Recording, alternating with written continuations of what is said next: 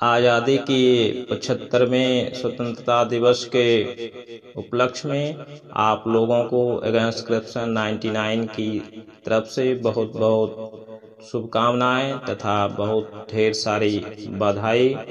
आज हमारा देश भारत आज़ादी का अमृत महोत्सव मना रहा है, जिसमें हमारे देश के प्रधानमंत्री भी भ्रष्टाचार पर खुलकर देशवासियों से सहयोग मांग रहे हैं।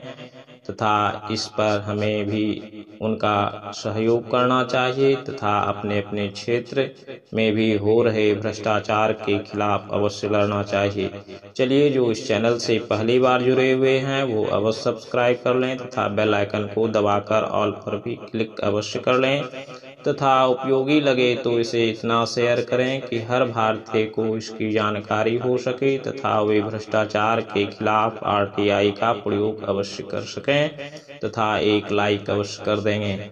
चलिए, हम लोग इस चैनल के माध्यम से इस वीडियो में जानेंगे कि आज़ादी के अमृत महोत्सव पे हमारे भारत के प्रधानमंत्री भी भ्रष्टाचार के खिलाफ लड़ने में हमारा सहयोग मांग रहे हैं, इस पर भी हम लोग भी देखें कि इस पर मैं अपना पक्ष आप लोगों को किस प्रकार रख रहा हूँ। आप लोग यदि इससे सहमत हैं तो कमेंट कर जय हिंद अवश्य लिखेंगे तथा एक लाइक अवश्य करेंगे। सत्यमेव जयते, जय जवान, जय किसान। Seventy fifth independence day. आज़ादी का अमृत महोत्सव आज हमारे देश आज़ादी का अमृत महोत्सव पूरे जश्न से मना रहा है। आज हमारे देश की प्रधानमंत्री भी लाल किले से भ्रष्टाचार पर खुलकर हम देशवासियों से सहयोग मांग रहे हैं। इस पर मैं कहना चाहता हूँ कि पहला हमारे देश में भ्रष्टाचार तभी खत्म होगी जब हम सभी एक साथ भ्रष्टाचार के खिलाफ लड़ेंगे, क्योंकि कोई भी सरकार इसे खत्म नहीं कर सकती जब तक कि हम आम जनता एक साथ मिलकर भ्रष्टाचार के खिलाफ नहीं लड़ेंगे।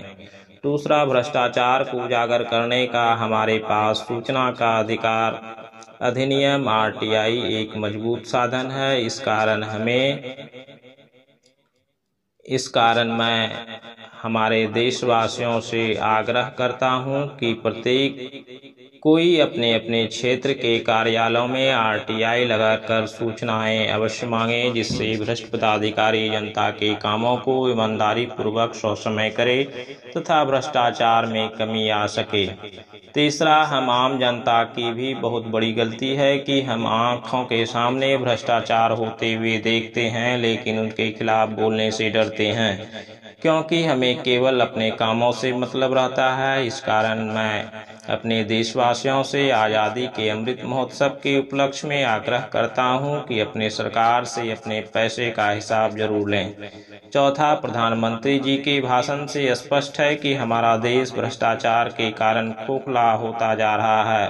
भ्रष्ट नेता, पदाधिकारी, कर्मचारी, लोक सेवक आसानी से जनता के पैसे को लूट रहे हैं। इस कारण हम आम जनता को ही भ्रष्टाचार के कारण, सॉरी, खिलाफ भ्रष्टाचार के खिलाफ आरटीआई का प्रयोग अधिक से अधिक करें। एक दूसरे का साथ देते हुए सहयोग कर भ्रष्टाचार के खिलाफ मिलकर लड़ेंगे तो एक न एक दिन हमारा देश भ्रष्टाचार से अवश्य मुक्त होगा।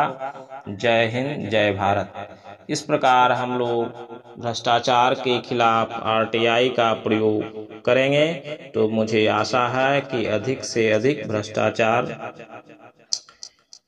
में कमी आएगी तथा हमारा देश भ्रष्टाचार मुक्त हो सकेगा। मैंने आरटीआई का प्रयोग लगातार 2017 से करता आ रहा हूँ और इसमें कई भ्रष्ट अधिकारी का खुलासा हुआ है तथा उन पर कार्रवाई भी हुई है। उन्हें आर्थिक दंड भी लगा रहा, लग रहा है। कई भ्रष्ट पदाधिकारी पर कार्रवाई का भी आदेश हो चुका है। आप लोग भी भ्रष्टाचार के खिलाफ आरटीआई का प्रयोग अवश्य करें तथा इस अमृत महोत्सव पर भ्रष्टाचार को खत्म करने का संकल्प लें तथा एक दूसरे का सहयोग अवश्य करें।